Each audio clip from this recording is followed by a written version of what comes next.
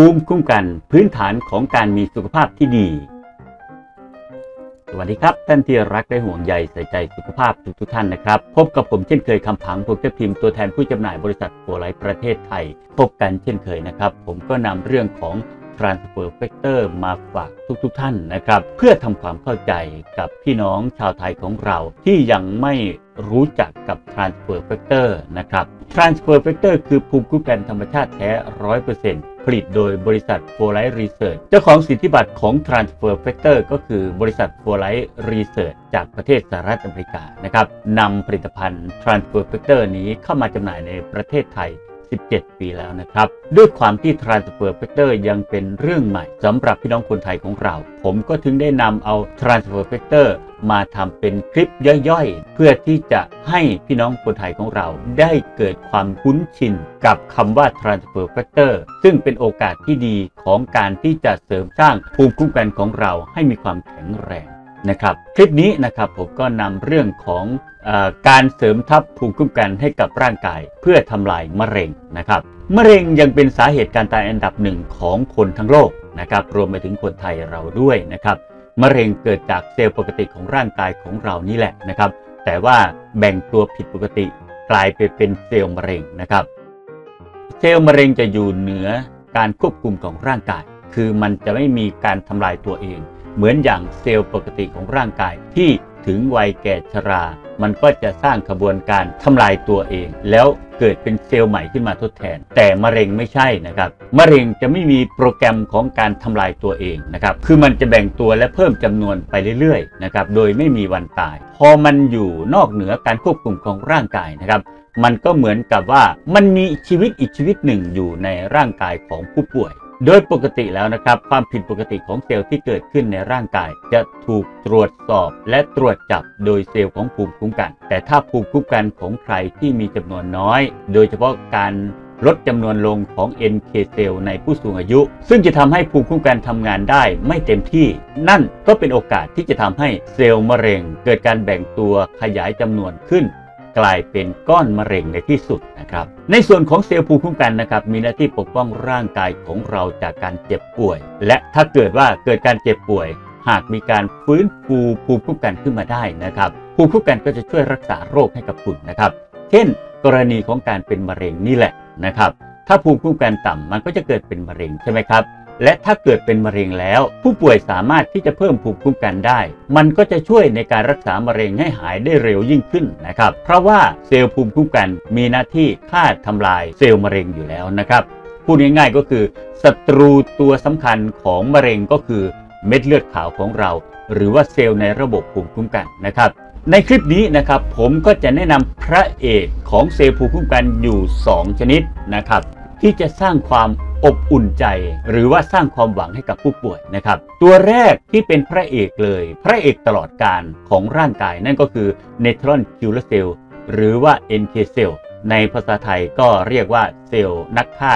ตามธรรมชาติ เซลล์ชนิดนี้นะครับจะรู้จักมะเร็ง หรือรู้จักความผิดปกติของเซลล์มาตั้งแต่เกิด เขาเรียกว่าเป็น เซลล์ภูมิคุ้มกันโดยกำเนิด เป็นภูมิคุ้มกันชนิดที่ไม่เฉพาะเจาะจง คือมีหน้าที่ในการรับรู้และก็ต่อสู้กับสิ่งที่ผิดปกติที่เกิดขึ้นในร่างกายนะครับ โดยเซลล์ชนิดนี้จะรับรู้ได้ว่าเซลล์ไหนเป็นเซลล์ดี เซลล์ไหนเป็นเซลล์ที่ไม่ดีนะครับ เซลล์ชนิดไหนคือเซลล์ที่ผิดปกติ ด้วยการรับรู้ด้วยตัวเอง โดยไม่ต้องรอรับการกระตุ้นจากเซลล์ภูมิคุ้มกันชนิดไหนเลยนะครับ เมื่อเกิดความผิดปกติ natural killer cell ก็จะจัดการสิ่งที่ผิดปกตินั้น ก่อนที่มันจะทำให้เกิดเป็นโรคกับร่างกายนะครับ แต่ปัญหาก็คือเซลล์ชนิดนี้จะลดจำนวนลงเมื่อคนเรามีอายุที่มากขึ้น หรือว่าขาดการพักผ่อน หรือว่าขาดการพักผ่อน หรือคนที่เป็นโรคเรื้อรัง ก็จะทำให้ natural killer cell มีจำนวนที่ลดต่ำลง นั่นจึงเป็นปัญหาที่ทำให้เกิดเป็นโรคมะเร็ง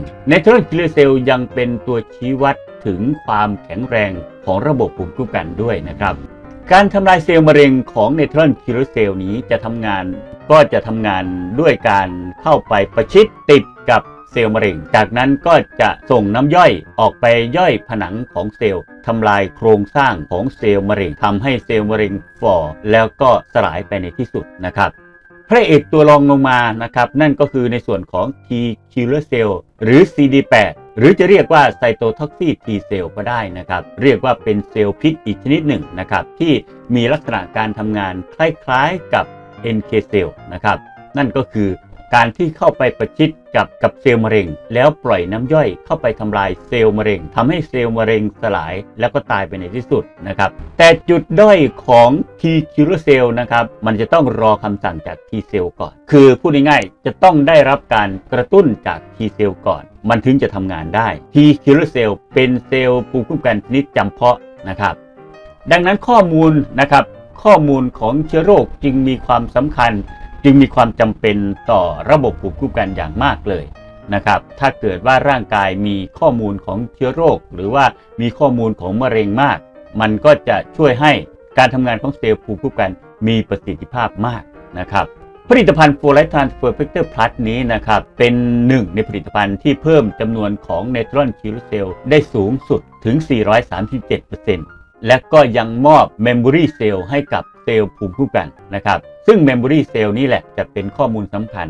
ในการทำงานของ T Cell ไม่ว่าจะเป็นเรื่องของการกระตุ้นภูมิคุ้มกันให้เพิ่มจำนวนมากขึ้น หรือว่าจะยับยั้งการทำงานของภูมิคุ้มกันทำงานไวเกินไป หรือที่เรียกว่า autoimmune นั่นเองนะครับ ท่านไหนที่สนใจนะครับต้องการอยากจะได้ผลิตภัณฑ์นี้ คุณก็สามารถที่จะคลิกซื้อได้ตามลิงก์ใต้คลิปวิดีโอนี้นะครับ และถ้าหากว่าคุณมีปัญหาในเรื่องของผลิตภัณฑ์ f o r l i g h t Transfer Vector นะครับ คุณก็สามารถที่จะคอมเมนต์ไว้ใต้คลิปวิดีโอนี้ หรือจะติดต่อผมโดยตรงก็ที่หมายเลขโทรศัพท์ 084 125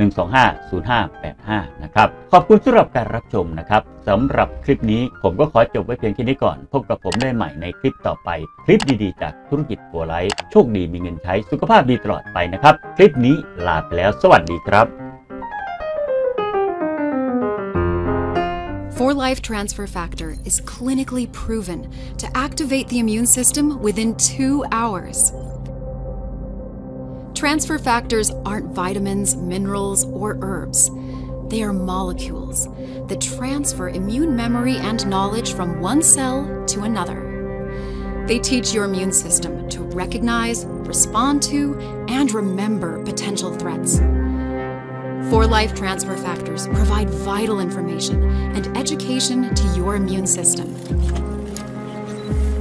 Let's follow the path of transfer factors through the body as they raise your immune IQ. First, the capsule travels down your esophagus to the stomach.